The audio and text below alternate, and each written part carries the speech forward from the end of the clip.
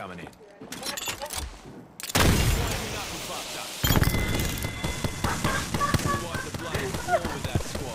Looks like you know how to handle yourself.